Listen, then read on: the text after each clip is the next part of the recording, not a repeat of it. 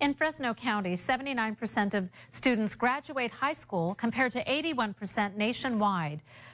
Local educators say they won't be satisfied until 100% of all students leave school with a diploma. In tonight's Education Matters, Juanita Stevenson joins us with how schools are working towards that goal. Juanita. Well, every day, students in Fresno County attend school with the odds stacked against them. Despite those odds, educators are finding ways to improve their chances for success. By being here today, you're all sending a very strong message. Grad Nation, an event that brought the mayor of Fresno, the police chief, and the county superintendent of schools together on the same stage. Effective education really happens in one way it's about human interaction. In the audience, school, community, and business leaders all gathered for the same reason. It's about all of us coming together and making a difference in the life of a child. Here in Fresno County, the high number of children living in poverty, the high number of preterm births, and the low number of students entering kindergarten ready for school are all factors that can lead to kids not graduating. Fresno Mayor Ashley Swearengin says children growing up in poor, unsafe neighborhoods are placed at a disadvantage. The fact that so many of our elementary schools and in, in early stages of middle schools are outperforming the quality of the neighborhoods that surround them is a direct testament to the commitment and the leadership and the dedication of our school leaders, period. To show you an example of a school working to beat the odds, we traveled to the small town of Huron, located in the middle of nowhere and recently named the poorest city in California. The majority of its residents don't have a high school diploma. Here, Huron Middle School is a beacon of hope. Attendance rates are up, um, student performance is increasing, um, and kids are happy to be here.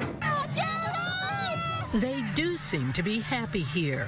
They support each other and their school.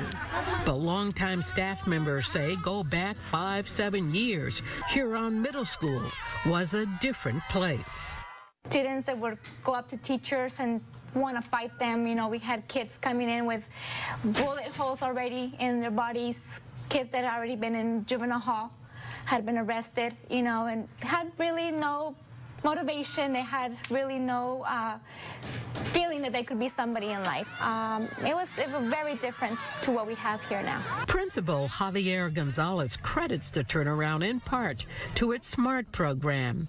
Students mentored via an advisory room by a teacher. All of our students have an adult advocate, role model, mentor, advisor.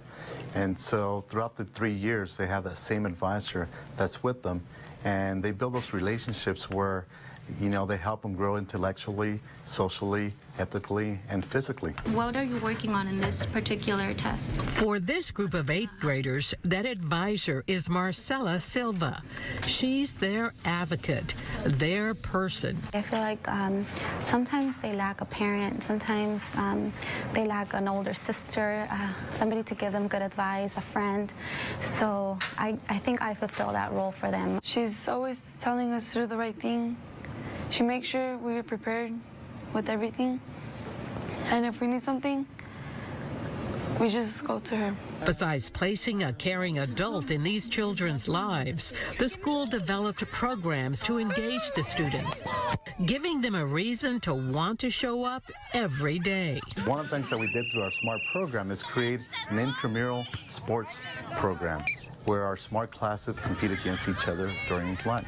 So now we have students who are interacting with each other, students who had never had an opportunity to be part of a sports program to really go out there and, and, be involved with athletics. In a community that offers little hope, Huron Middle School is giving students like 13-year-old Carla Diaz reasons to believe in herself. We always talk about our goals. We always write down what we want to do. If we want something, we gotta work hard for it, and we could actually make it.